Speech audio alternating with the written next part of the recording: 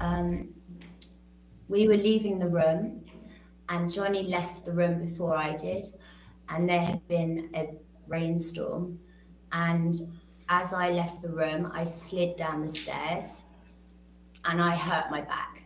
And I screamed because I was in, because I didn't know what had happened to me and I was in pain. And um, he came running back to help me and carried me to my room and got me medical attention.